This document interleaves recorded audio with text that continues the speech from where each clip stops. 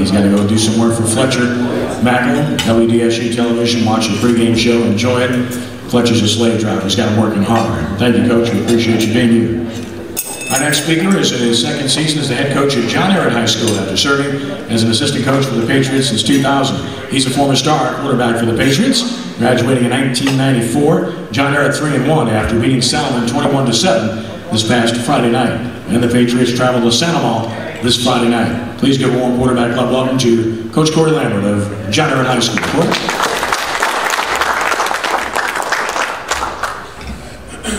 First of all, I'd like to thank the um, Quarterback Club for having me, and also Kim Trahan.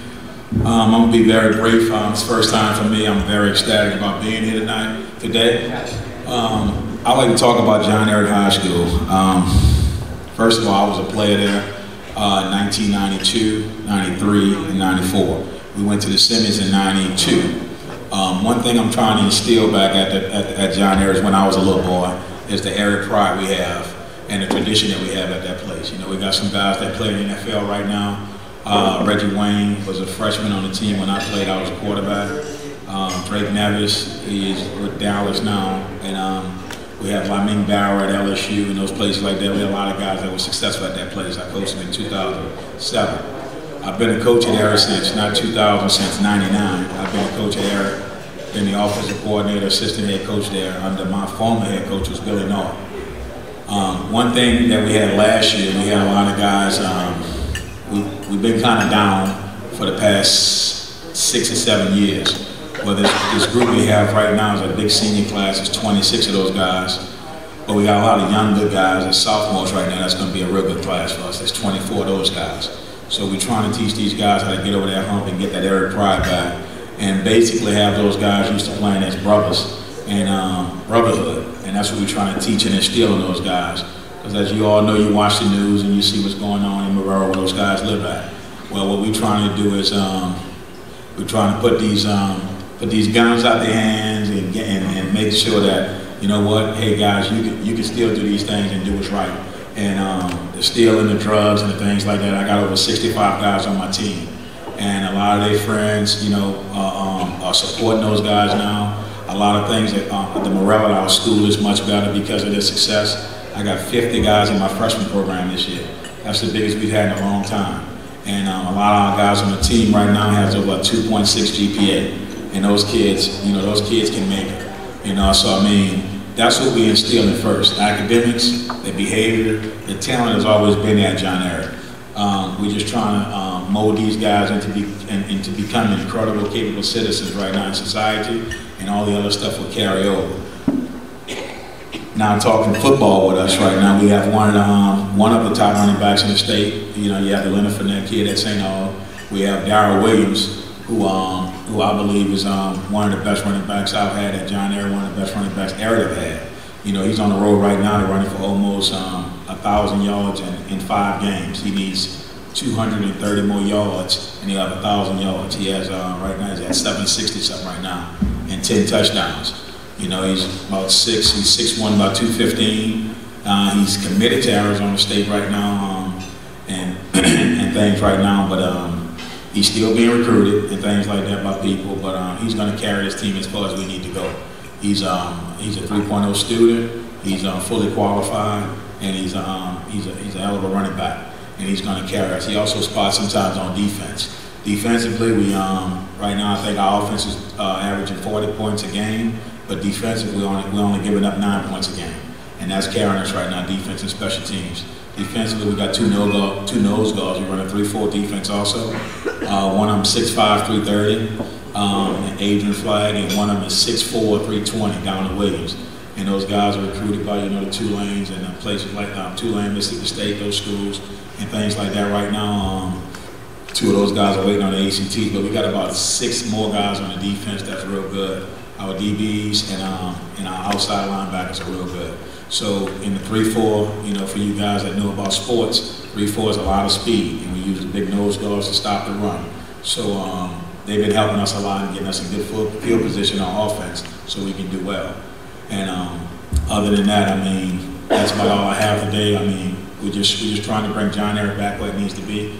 Um, and um, that Ehret pride that we had when we played in the 90s and when I was a little boy in the 80s watching John Ehret play. So that's about what I have today. Yeah, any questions?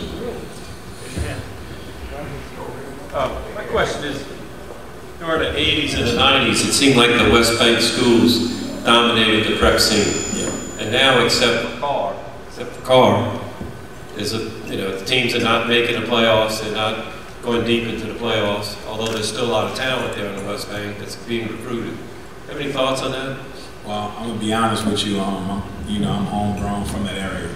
Uh, we didn't leave, and we didn't leave and go out to the and things. Well, I'm gonna be honest with you. There's a lot of kids that doesn't live in those areas going to those schools, and by those schools being citywide schools, by those schools being citywide schools, they can get any kid in the city, and um, and they're able to play. You know, where we have to make sure the kid lives in our district. And by Helen Cox becoming a high school now, it used to be a middle school. So now it's take it's depleting Ehret and West Jeff that's right next door to each other, where it used to feed both of those schools where you lived at. So and you got Higgins right down the street, but you have Warren Easton, Karr, and those schools, they're citywide schools, so they can get any kid in the city. You know, so that hurts a little bit. Uh, That, that- was gonna be my question, that citywide schools, so there are no districts, there are no boundaries, so therefore, it's, it's, it's a private school, get anywhere from anybody, but it doesn't, but it's free to go to. Okay, ba- basically your citywide schools, like the um, Karr, Warren Easton, O. Perry Walker, Atlanta schools, are the charters, uh, some of those, those, those citywide charter schools. So if a kid lives anywhere in the city, those kids can go to that school. You know, they can go to that school and, you know, we even got some kids that's from Marrero that goes to those schools, like, um, you know, I'm more than sure some of those guys probably use addresses and go to those schools also. But you know, I'm a firm believer of this, and I, and I think it's going to turn around for us over at John Ehret. I can't speak for the other coaches. You got to win, win games, and if we, we start winning, we're going to start getting those kids back. And we can't, you know, we can't pull them out and say, well, this is going on. Well, you got to make your place a better place, and you got to do those things, and that's what we're doing at John Ehret. So, yeah. Coach, what about the select versus non-select issue that's been the hotbed of prep sports since last January? I'm, I'm gonna just be honest with you. Um,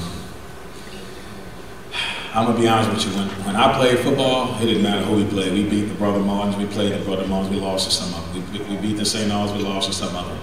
You know, we, we were just taught to play play ball and do what we need to do, and that's what we're instilling now. Um, I'm not a big fan of it. It can go either way.